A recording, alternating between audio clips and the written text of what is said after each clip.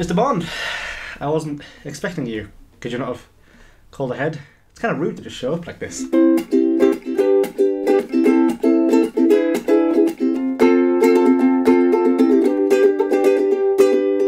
My agent said that this would be a good idea. My agent said it'd be a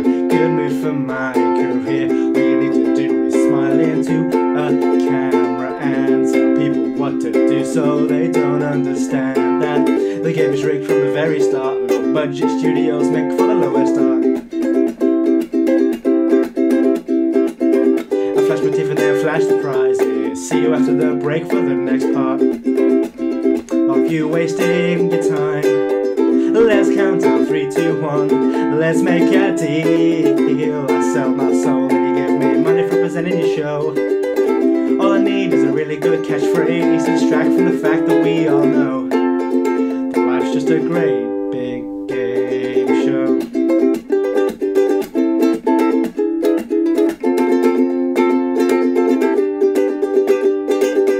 Survey says the ratings are in. My career's now a total wipeout. My reputation's in jeopardy. I've reached the tipping point. The chances are 50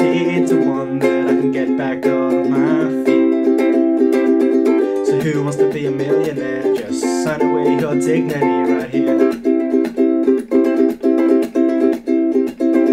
Soon you'll be all shiny and new, and you'll be invading people's living rooms in the afternoon. Let's count down three, two, one. Let's make a deal. I sell my soul and you give me money for presenting your show. All I need is a really good catchphrase to distract from the fact that we all know life's just a great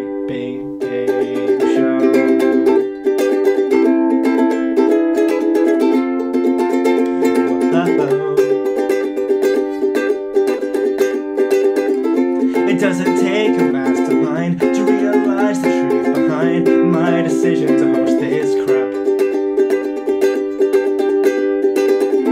The weakest link is me. I hope this isn't my destiny, but the studio audience just laughs while I'm dying inside.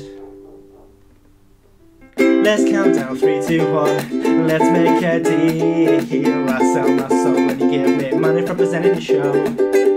All I need is a really good catchphrase to distract from the fact that we all know that life's just a great big game show. Let's see what you have won.